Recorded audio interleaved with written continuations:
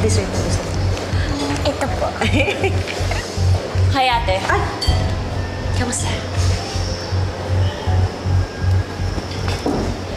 Ang ginagawa mo dito? Paano mo nalaman na nandito kami? Ako pa ba? Nakatakas nga ako ng mental na wala kang tinutulong sa akin.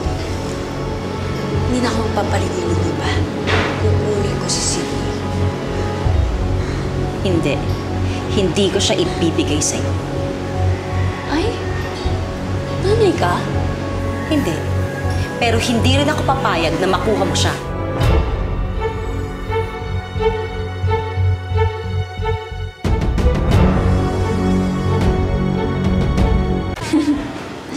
Bakit?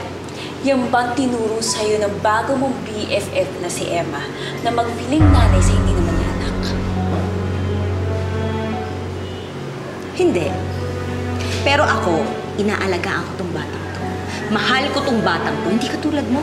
Nagagamitin mo lang yung bata para makabingwit ng lalaki. Wala kang pakialam.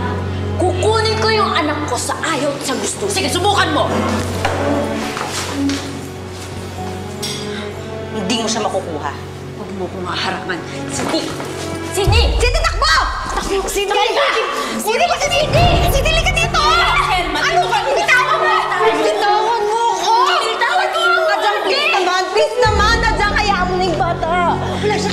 mga galit mo!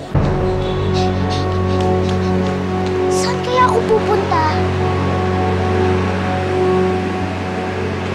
Tawanan mo nga si Sidley, huwag mo siyang gamitin para balikan ka ni Rome! Kahit anong gawin ko, hindi na babalik sa akin si Rom dahil pinakulong ko na siya. Paparusahan ko yung anak niya para maramdaman niya na hindi dapat ako ginagalit. Mahawa ka sa bata! Awa! Walang naawa sa akin yung naglakad ako. Paluhon! Para lang mahalin ako!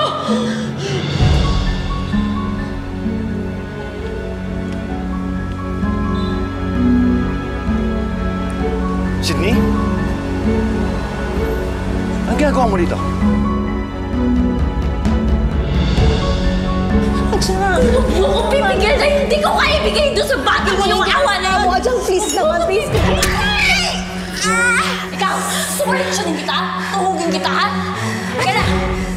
Tumabi ka dyan!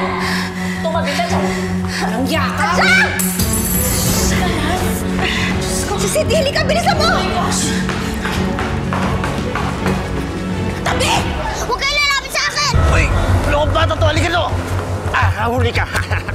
Halika to! Bitiwan mo ako! Maingay! Lord, tulungan niyo po ako. Sana po may dumating na angel para isave ako dito. Dito! Huwag ka! No! Halika na! Huwag kang maingay! Ayoko! Ay, ah! Ah! Ah! Buka na! Salamat po kayo po ang guardian angel ko.